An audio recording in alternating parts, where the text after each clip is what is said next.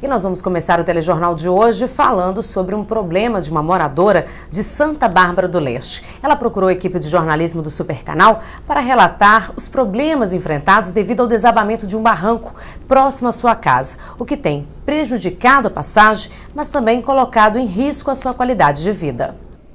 Primeiro, um incêndio na casa. Depois, uma pequena retirada no barranco que, com a chuva, fez com que a terra do lote cedesse e invadisse a casa, causando transtornos.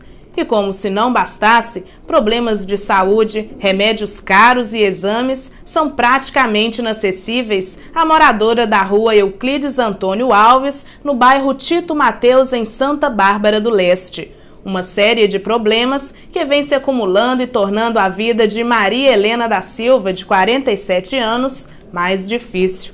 A aposentada, que mora sozinha e só recebe um salário mínimo por mês, contou que a intenção era construir uma pequena varanda e, por isso, fez uma pequena retirada do barranco próximo à sua casa. Contudo, um desabamento ocasionado em decorrência também das chuvas dificulta a passagem para a entrada em sua casa. Segundo ela, senhor Raimundo, proprietário do lote que desceu, não quer auxiliá-la na retirada desta terra. Mas é isso aqui que está me prejudicando, que é o lugar de eu passar mais perto é aqui. Uhum. Para me lavar roupa, eu tenho que dar a volta lá atrás e lavando na mão.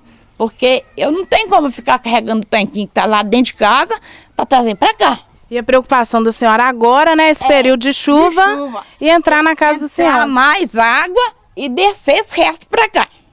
Entendeu? Uhum. Isso aí é que eu tô mais preocupada. Eu não tenho condições de pagar ninguém para tirar. Entendeu? Não tenho. Porque um companheiro para tirar terra, eles vão cobrar aí 40 reais por dia. Uhum. E quantas caçambas de terra não dá isso aqui? Senhor Raimundo do Carmo Barcelos relatou que tentou um acordo com a moradora e disse que se ela contratasse alguém para ajudá-lo, a parte do barranco que caiu seria retirada.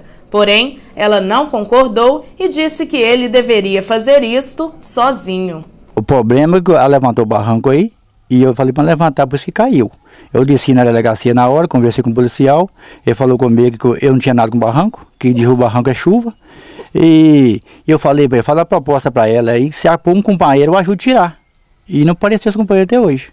A prefeitura, por diversas vezes, foi procurada. No entanto, até então, nada foi feito. A equipe de jornalismo do Supercanal entrou em contato com a administração municipal de Santa Bárbara do Leste para saber quais seriam as providências a serem tomadas.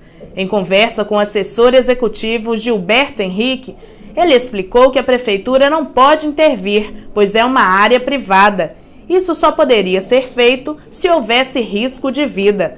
Além disso, um fiscal da prefeitura já foi ao local e conversou com o proprietário do terreno, pedindo a ele que fizesse a remoção dessa terra.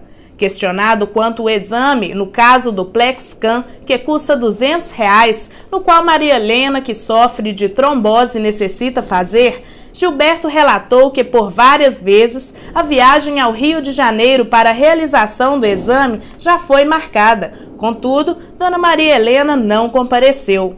As reclamações de Dona Maria são que, por decorrência desses problemas de saúde, a dificuldade para andar nos entornos da própria casa e para trabalhar sozinha, desobstruindo esta passagem, ficam impossibilitadas. Se eu estivesse boa, tivesse força ainda nos braços para trabalhar e nas pernas, não tinha esse monte de terra aqui mais não. Eu já tinha tirado, porque esse barranco da minha casa, ele era ali, naquele registro ali, ó.